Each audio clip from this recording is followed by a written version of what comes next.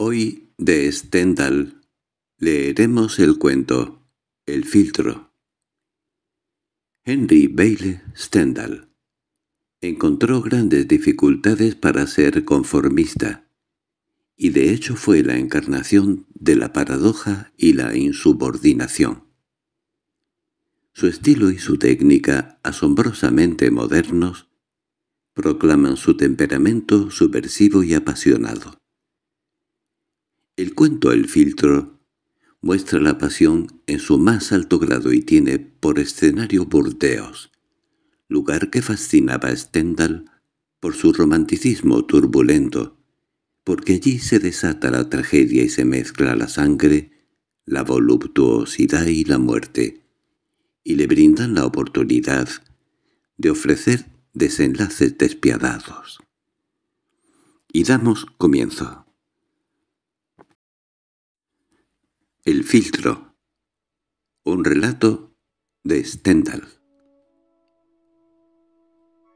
Una noche oscura y lluviosa del verano, salía del café en el que acababa de perder todo su dinero un joven teniente del Regimiento 96 de guarnición en Burdeos.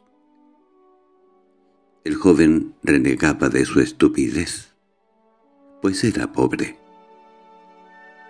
Al pasar por una de las calles más desiertas y silenciosas del barrio de Lormont, oyó de pronto unos gritos, y por una puerta que se abrió con estrépito salió violentamente proyectada una persona, que vino a caerse a sus pies. La oscuridad era tan profunda que sólo por el ruido se podía apreciar lo que ocurría.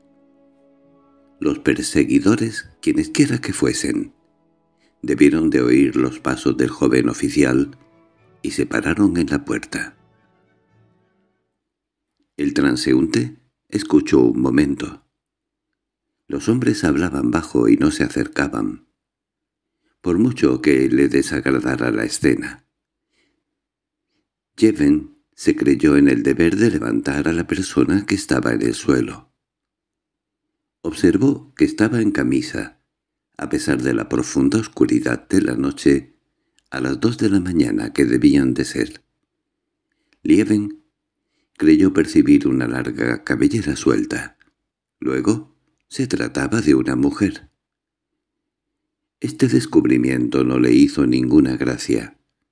La mujer parecía incapaz de andar sin ayuda. Para no abandonarla, Lieven tuvo que pensar en los deberes prescritos por la humanidad. Se veía ya en el desagradable trance de tener que presentarse al día siguiente ante el comisario de policía y afrontar las burlas de sus compañeros y las gacetillas satíricas de los periódicos locales. «La dejaré sola apoyada en la puerta de una casa», se dijo. «Llamaré y me iré corriendo». Iba a hacerlo así cuando oyó a la mujer quejarse en español. Lieven no sabía ni una palabra de español. Quizá por eso las dos muy corrientes que pronunció Leonor le despertaron unas ideas muy novelescas. Ya no vio un comisario de policía y una muchacha de la vida maltratada por unos borrachos. Su imaginación se extravió en ideas de amor y de aventuras extraordinarias. Lieven, después de levantar a la muchacha, le dirigía palabras de consuelo. «Mira que si fuera fea», se dijo. Ante esta duda, entró en juego la razón y le hizo olvidar las ideas románticas. Quiso hacer que se sentara en el umbral de una puerta y ella se negó. «Vayamos más lejos», le dijo en un tono muy extraño. —¿Tiene miedo de su marido? —le preguntó Lieven. Por desgracia mía, dejé a ese marido, el hombre más respetable del mundo y que me adoraba, por un amante que me trajo de su lado bárbaramente. Esta frase hizo que Lieven olvidase al comisario de policía y las desagradables consecuencias de una aventura nocturna.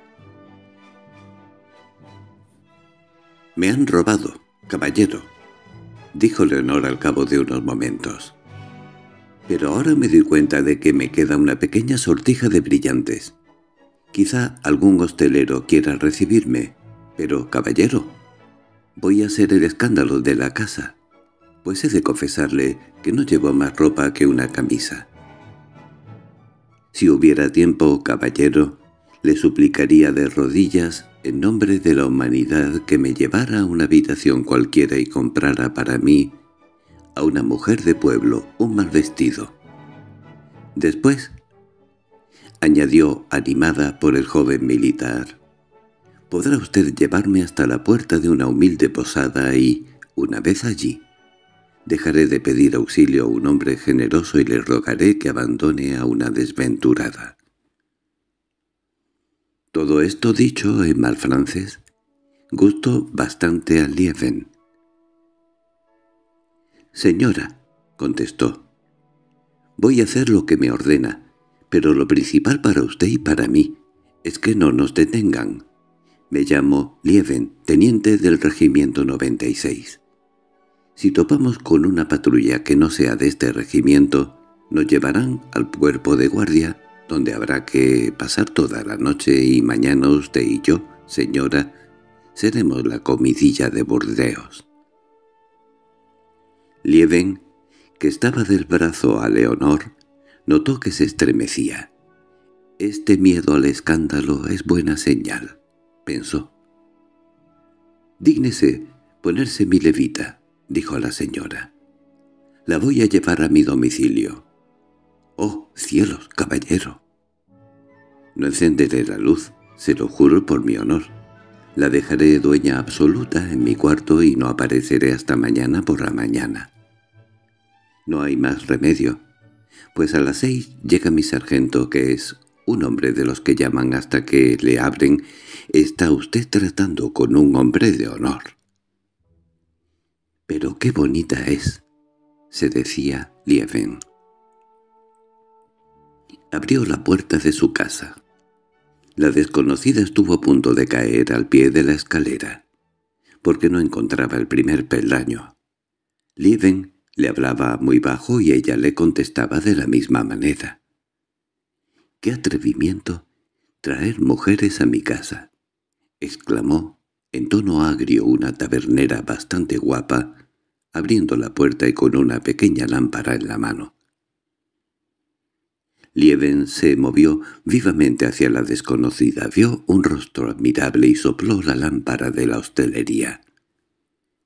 —¡Silencio! Madame Sauces, o mañana por la mañana me voy de aquí. Diez francos para usted si no dice nada a nadie. Esta señora es la esposa del coronel, y yo puedo volver a salir enseguida. Lieven había llegado al tercer piso, a la puerta de su cuarto temblaba.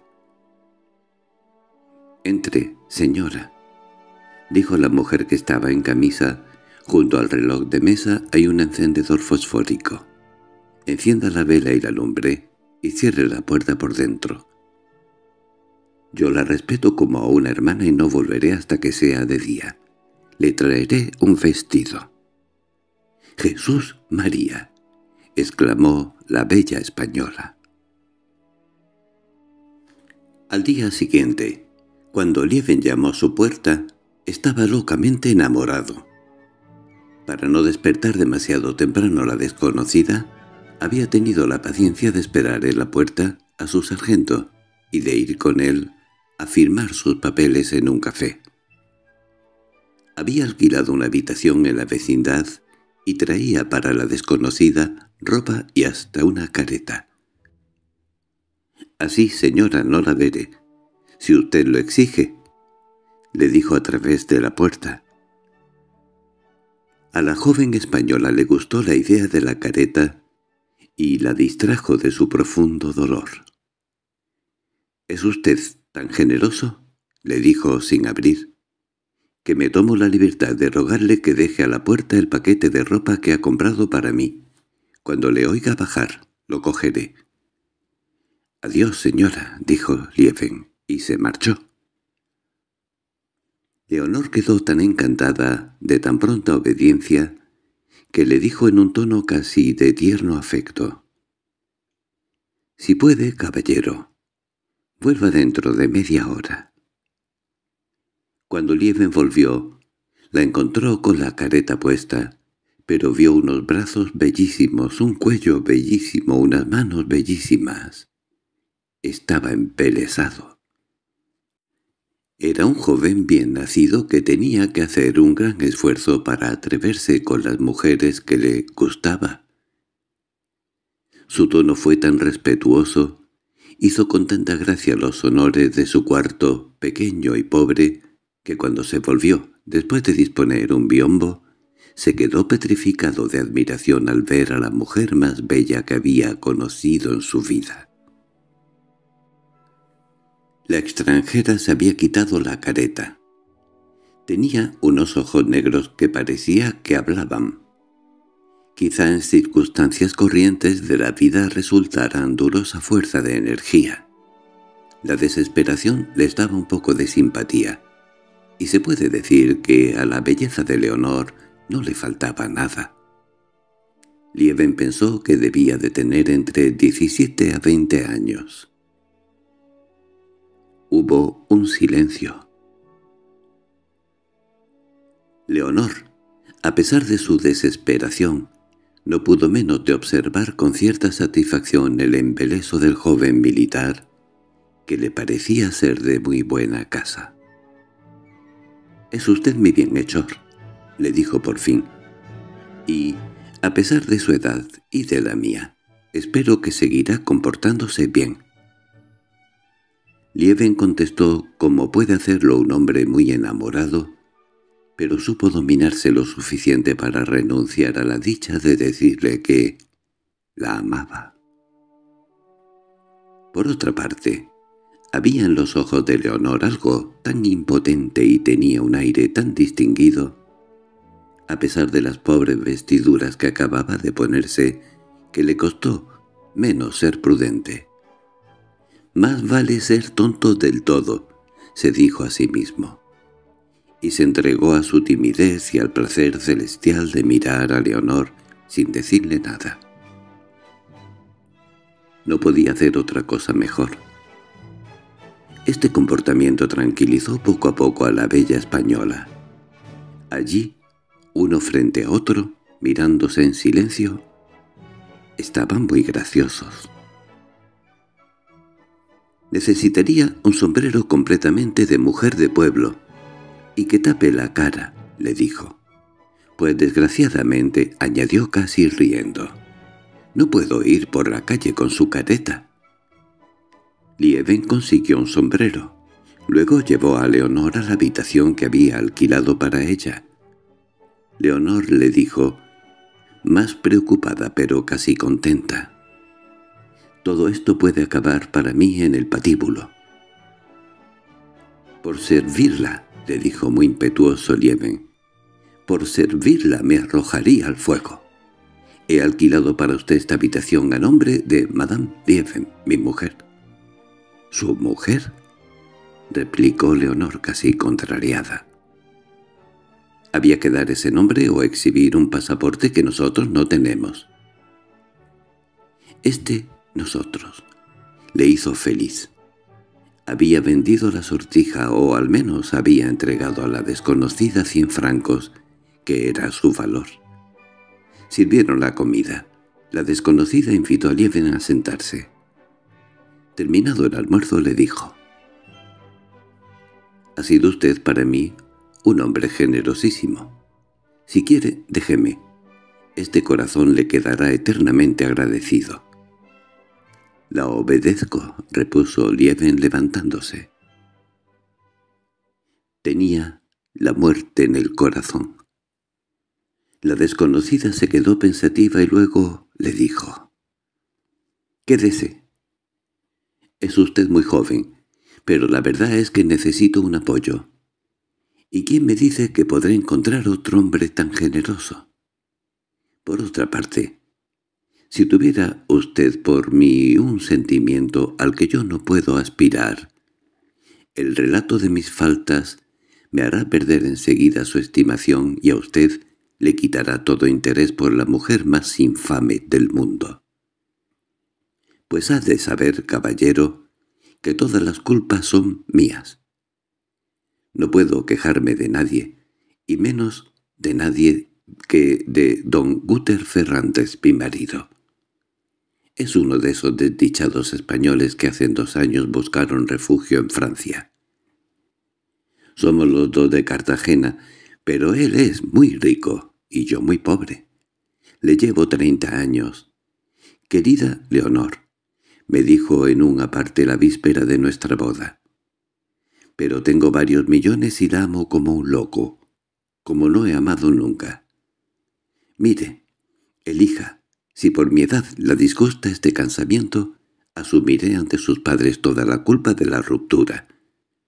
De eso hace cuatro años, caballero. Yo tenía quince. Lo que más sentía entonces era el peso de la gran pobreza en la que la revolución de las Cortes sumió a mi familia. No le amaba. Acepté. Pero necesito de sus consejos, caballero, pues no conozco las costumbres de este país, ni, como usted ve, su lengua. A no ser por esta necesidad que tengo de usted, no podría soportar la vergüenza que me mata. Esta noche, al verme arrojada de una casa de pobre traza, ha podido creer que socorría a una mujer de mala vida. Pues bien, caballero, valgo menos aún. Soy la más infame y también la más desdichada de las mujeres. Añadió Leonor, deshecha en lágrimas. Quizá un día de estos me verá ante los tribunales de su país y seré condenada a una pena infamante. Nada más casarnos, don Cutier tuvo celos. ¡Ay, Dios mío!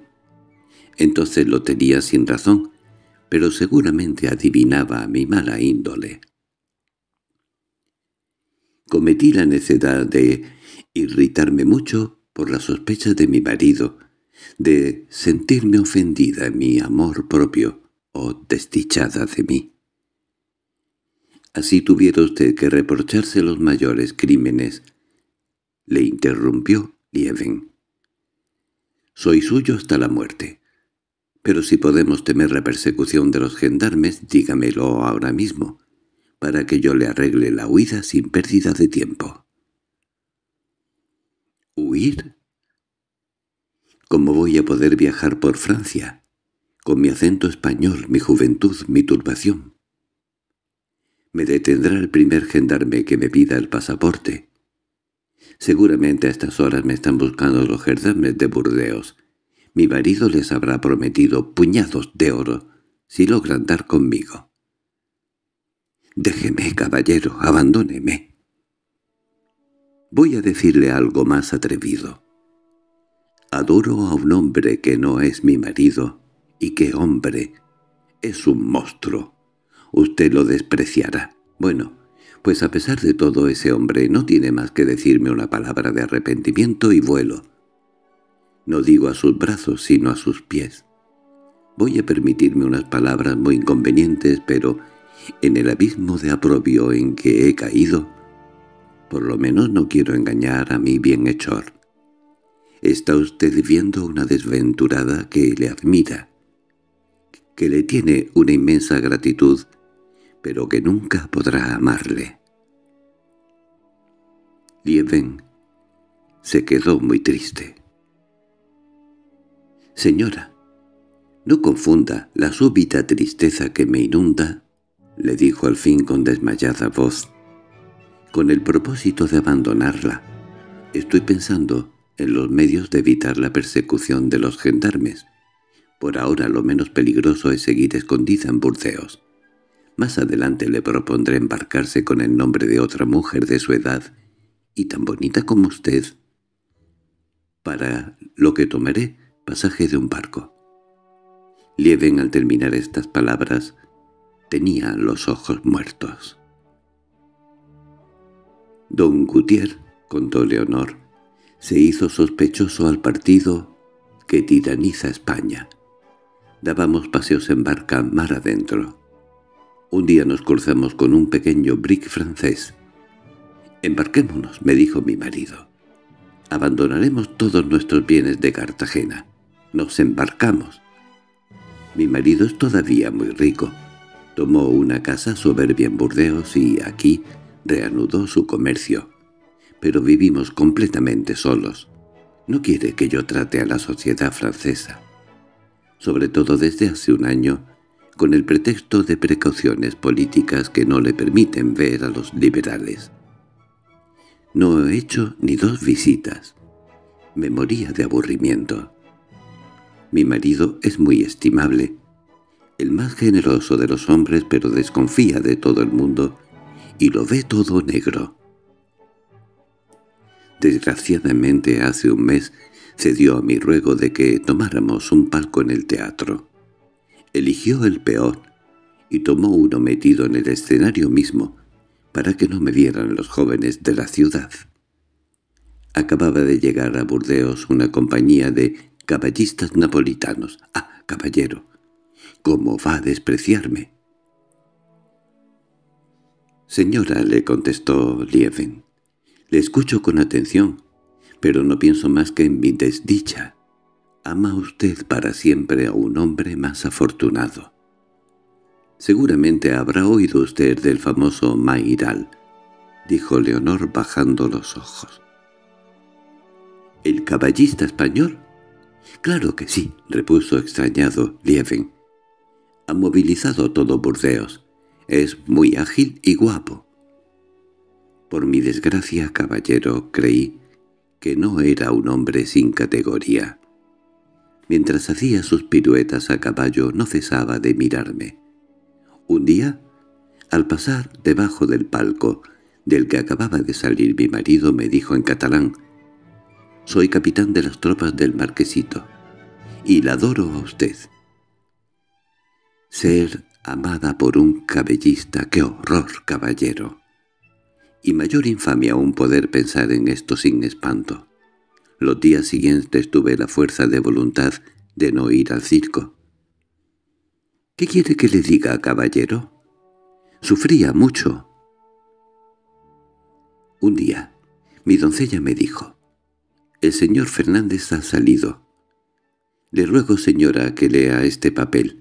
Y escapó cerrando la puerta. Es una carta muy tierna de Mairal.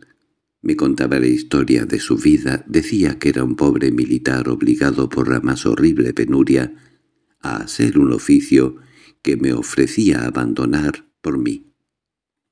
Su verdadero nombre era don Rodríguez Pimentel, Volví al circo. Poco a poco fui creyendo en los infortunios de Mairal y recibiendo con alegría sus cartas. Y ay de mí. Acabé por contestarle. Le amé con toda pasión, con una pasión, añadió Leonor, rompiendo a llorar, que nada ha podido quebrantar, ni siquiera los más tristes descubrimientos. No tardé en ceder a sus ruegos y deseé tanto como en la ocasión de hablarle. Sin embargo, ya entonces, tuve una sospecha. Pensé que quizá Mairal no tenía nada de Pimentel ni de capitán de las tropas del marquesito. No tenía bastante orgullo para eso. Varias veces manifestó el temor de que yo quisiera borrarme de él por su oficio de caballista polatinero en una compañía de saltimbanquis napolitanos. Hace aproximadamente dos meses, cuando íbamos a salir para ir al circo, mi marido recibió la noticia de que uno de sus barcos había encallado cerca de Royan, en la desembocadura del río. Y él que no hablaba nunca, y no me decía ni diez palabras en todo el día, exclamó. «Tendré que ir allá mañana». Aquella noche, en la función, le hice a Mayral una señal convenida. Mientras él veía a mi marido en el palco fue a coger una carta que yo había dejado a la portera de mi casa, a la que él había sobornado. Al poco rato vi a Mayral rebosante de alegría. Ya no había tenido la nueva debilidad de escribirle que a la noche siguiente le recibiría en una sala baja que daba al jardín. Mi marido embarcó después del correo de París, al mediodía. Hacía un tiempo soberbio y estábamos en los días más cálidos. Aquella noche dije que iba a dormir en el cuarto de mi marido, que estaba en la planta baja y daba al jardín, porque allí me agobiaría menos el calor.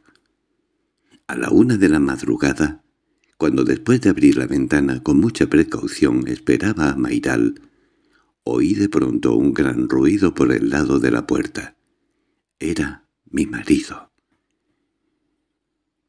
A medio camino de Royan había visto su barco subiendo tranquilamente por el Gironda en dirección a Burdeos.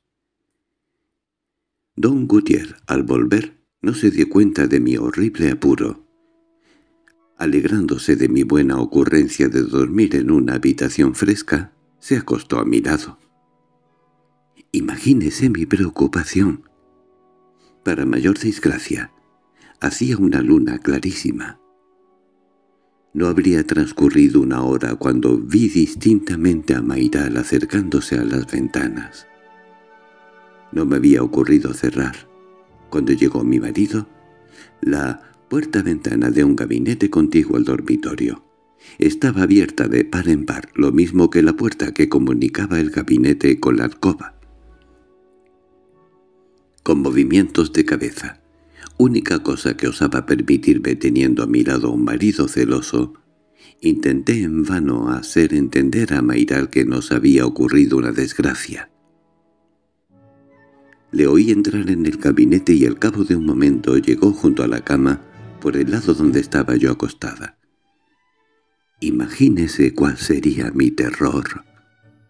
Se veía tan claro como si fuera de día. Por suerte Mairal no habló al acercarse. Le señalé a mi marido durmiendo a mi lado y de pronto vi que sacaba un puñal. Horrorizada me incorporé. Mairal se acercó a mi oído y me dijo, «Es tu amante. Ya comprendo que llego en mal momento, o más bien pensaba que era divertido burlarse de un pobre caballista volatinero. Pero ese lindo señor va a pasar un mal rato. —¡Es mi marido! Le repetía yo en voz muy baja, y con toda la fuerza que podía le sujetaba la mano. —¿Tu marido? Cuando yo le vi embarcarse esta mañana en el vapor del Royan, un saltimbanqui napolitano no es tan tonto como para tragarse eso. Levántate y ven a hablarme en el gabinete de al lado. Lo exijo y si no lo hace despierto a ese lindo caballero. Entonces puede que diga cómo se llama, yo soy más fuerte, estoy mejor armado. Y con todo lo pobre diablo que soy, le demostraré que no es buena cosa burlarse de mí. Quiero ser yo tu amante, vive Dios. Y quien hará el ridículo será él. En ese momento se despertó mi marido. —¿Quién habla de amante? —exclamó muy sorprendido. Mairal, quien a mi lado me tenía abrazada y me hablaba al oído, se bajó muy oportunamente ante aquel movimiento imprevisto. Yo extendí el brazo como si me hubieran despertado las palabras de mi marido, hasta que don Gautier, creyendo que había soñado, volvió a dormirse. El puñal desenvainado de Mayra seguía reflejando la luz de la luna, que en aquel momento daba de lleno en la cama. Prometí todo lo que Mayral quiso. Exigió que le acompañara al gabinete contiguo. «Bueno, será tu marido, pero no por eso dejo yo de hacer un papel idiota», repetía iracundo. Por fin, al cabo de una hora, se marchó. ¿Me creerá usted, caballero, si le digo que toda esta conducta de Mairal casi me abrió los ojos en cuanto a él, pero no llegó a disminuir mi amor? Como mi marido no hacía nunca vida social, pasaba todo el tiempo conmigo. Era dificilísima la segunda cita que yo había jurado a Mairal que le concedería.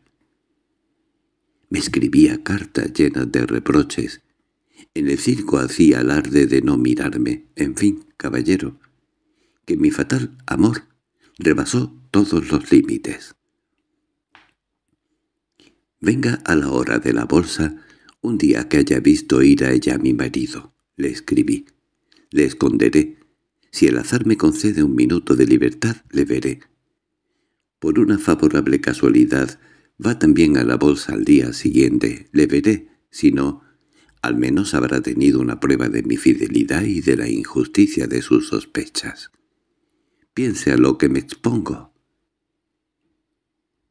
Esto respondía al temor que él tenía siempre de que temía de que yo hubiera elegido otro amante de mi rango con el que me burlara del pobre saltimbanqui napolitano.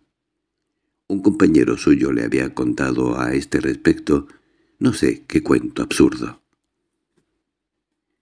Pasados ocho días mi marido fue a la bolsa. En pleno día. Mairal entró en mi cuarto escalando la pared del jardín. Ya ve a lo que me exponía. No llevábamos juntos tres minutos, cuando volvió mi marido. Mayra se escondió en el tocador, pero don Gutiérrez había venido solamente a buscar unos papeles que necesitaba. Por desgracia traía también un saco de portuguesas.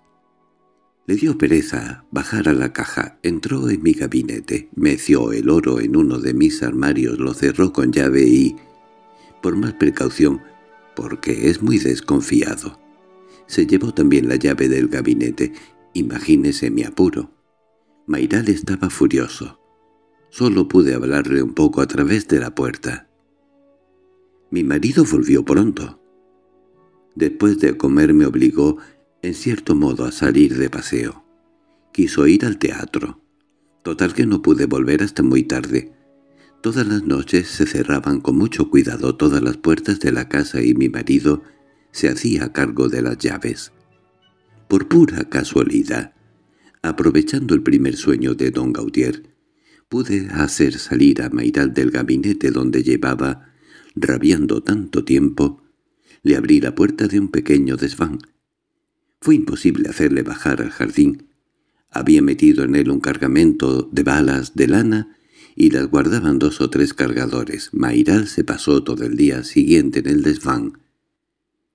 Imagínese lo que yo sufriría. Me parece a cada momento verle bajar el puñal en mano y abrirse paso asesinando a mi marido. Era capaz de todo. Al menor ruido en la casa, yo me echaba a temblar. Para colmo de desdichas, mi marido no fue aquel día a la bolsa.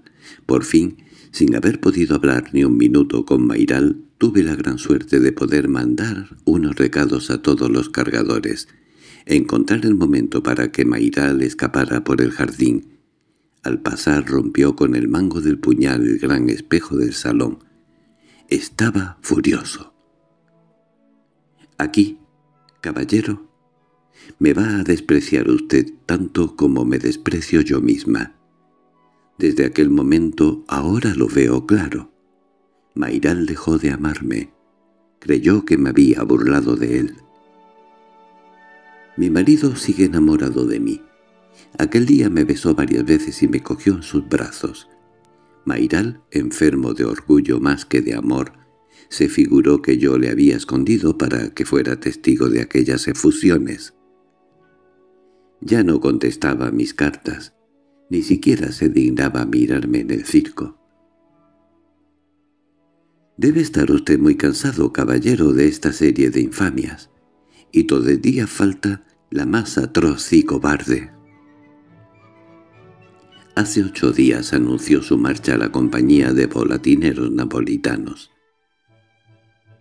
El lunes pasado, día de San Agustín, loca de amor por un hombre que, en las tres semanas transcurridas desde la aventura del encierro en mi casa, no se dignó mirarme ni contestar a mis cartas, me fui de casa mejor de los maridos y, caballero, me fui robándole, yo que le llevé más dote que un corazón infiel.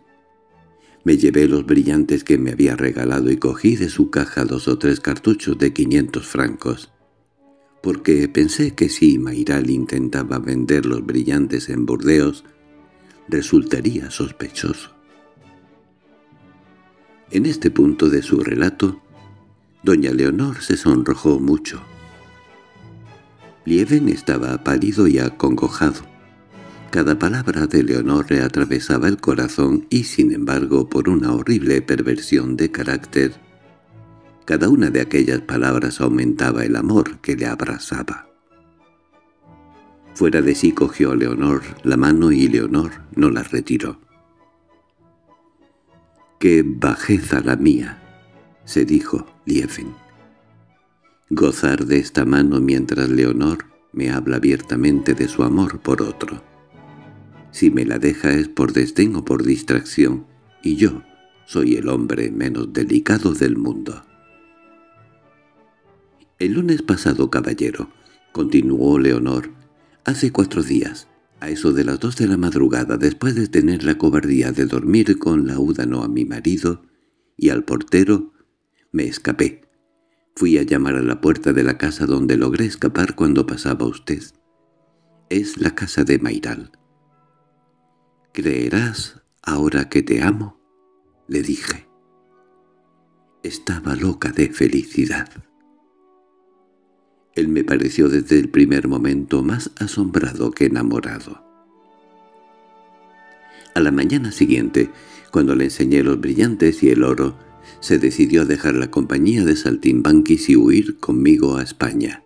Pero, Dios santo, por su ignorancia de ciertas costumbres de mi país, me pareció que no era español. Probablemente pensé acabo de unir mi destino al de un simple caballista de circo, pero ¿qué me importa si le amo? Hecho de ver que es dueño de mi vida. Seré su sirvienta, su mujer fiel, él seguirá su oficio. Soy joven. Si es necesario emprenderé yo misma a montar a caballo. Si cuando seamos viejos nos encontramos en la miseria, no importa. Moriré de miseria a su lado y no habrá por qué compadecerme, puesto que habré vivido feliz. ¡Qué locura! ¡Qué perversión! exclamó Leonor interrumpiéndose. «Hay que reconocer», dijo Lieven, «que usted se moría de aburrimiento con su marido, tan viejo, y que no quería llevarla a ninguna parte. Esto la justifica mucho para mí, Usted no tiene más que 19 años y él 59. ¿Cuántas mujeres viven consideradas en la sociedad de mi país y, en el fondo, no tienen los remordimientos que tiene usted, aunque han cometido faltas mayores? Unas cuantas frases de este estilo parecieron aliviar de un gran peso a Leonor. «Pasé tres días con Mairal», continuó, por la noche me dejaba para ir a su trabajo. Anoche me dijo, «Como podría venir a mi casa la policía, voy a dejar tus brillantes y tu oro en casa de un amigo, seguro». A la una de la madrugada, después de esperarle hasta mucho más tarde de la hora acostumbrada y muerta de miedo de que Mairal hubiera sufrido una caída del caballo, volvió. Me dio un beso y enseguida salió nuevamente de la habitación. Por fortuna yo tenía luz, aunque él me la habría prohibido dos veces y hasta me había apagado la lamparilla. Pasado mucho rato, estando yo dormida entró un hombre en mi casa, y me di cuenta inmediatamente de que el intruso no era Mairal. Cogí un puñal. El cobarde se asustó y cayó de rodillas implorando perdón. Yo me lancé hacia él para matarle. «Si me toca ir a la guillotina», decía. La bajeza de ese lenguaje me horrorizó. «¿Con qué gente me he comprometido?» pensé. Tuve la presencia de ánimo de decir en aquel hombre que yo contaba con protecciones en Burdeos y que el señor fiscal general mandaría detenerle, si no me decía toda la verdad. «Bueno», contestó, Yo no he robado nada de su oro ni de sus brillantes. Mayral acaba de marcharse de Burdeos, va a París con todo el botín. Se ha escapado con la mujer de nuestro director. Le dio veinticinco de sus hermosos luises y el director le cedió la mujer. A mí me dio dos luises. Eh, aquí. A menos que tenga usted la bondad de dejármelos, se los regalo. Mayral me los dio para que la retuviera el mayor tiempo posible con el fin de llevar el treinta horas de adelanto. —¿Es español? —le pregunté. —Español. Es de Santo Domingo, de donde escapó después de robar o asesinar a su amo. —¿A qué vino aquí esta noche? —Contéstame —le dije—, o mi tío te mandará galeras. Como yo vacilaba en venir aquí para guardarla, Mairal me dijo que era usted una mujer muy guapa. Nada más fácil me dijo que ocupar mi sitio a su lado. Será gracioso. Ella quiso una vez burlarse de mí, ahora me burlaré yo de ella. Con esta condición acepté, pero como no me atrevía vino con la silla de posta hasta la puerta y subió para darle un beso delante de mí después de esconderme junto a la cama. También aquí los sollozos ahogaron la voz de Leonor. El joven saltimbanqui que estaba conmigo continuó Leonor, tenía miedo y me daba los detalles más verídicos y desoladores sobre Mairal. Yo estaba muerta de desesperación. Quizá me ha dado un filtro, pensaba, pues no puedo odiarle. Y así es, caballero. Ni después de tanta infamia puedo odiarle. Sé que le adoro. Doña Leonor guardó silencio y se quedó pensativa. Extraña ceguera, pensó Lieven. Una mujer tan inteligente y tan joven, creer en un sortilegio. En fin, reanudó doña Leonor. Aquel joven, viéndome pensativa, empezó a tener menos miedo. Se fue de repente y, pasada una hora, volvió con un compañero. Tuve que defenderme, fue una lucha tremenda. Puede que, al mismo tiempo que pretendían otra cosa, quisieran matarme. Me cogieron mi bolsa y unas alhajas. Por fin pude llegar a la puerta de la casa, pero, a no ser por usted probablemente, me hubieran perseguido en la calle. Lieven. Cuanto más loca de amor por Mairal veía a Leonor, más la adoraba. Lloró mucho. Le besaba la mano. Como él con palabras veladas le habló de su amor, Leonor le dijo al cabo de unos días. «¿Creerá usted, fiel amigo, que me figuro que si yo pudiera demostrar a Mairal que nunca pretendí burlarme de él, quizá me amaría. «Tengo muy poco dinero», repuso Lieven. Por aburrimiento me puse a jugar, pero ¿acaso el banquero al que me recomendó mi padre en Burdeos no me niegue quince o veinte luises? Se lo suplico, voy a hacerlo todo, incluso bajezas. Con ese dinero podrá usted ir a París. Leonor le abrazó. «Santo Dios! Ya no pueda amarle, pero ¿es posible que me perdone mis locuras? Tan posible que me casaría con usted loco de alegría y ría a su lado mi vida, considerándome el más afortunado de los hombres. Pero es que si encuentro a Mairal, me lo sé, bastante loca y miserable para abandonarle a usted mi bienhechor, y caer a los pies de él. Lieven enrojeció de ira. «No hay más que un remedio de curarme. Matarme», —le dijo, cubriéndola de besos. —Oh, no me mates, amigo mío —le dijo a ella. No se le ha vuelto a ver. Leonor ha profesado en el convento de las Ursulinas. Fin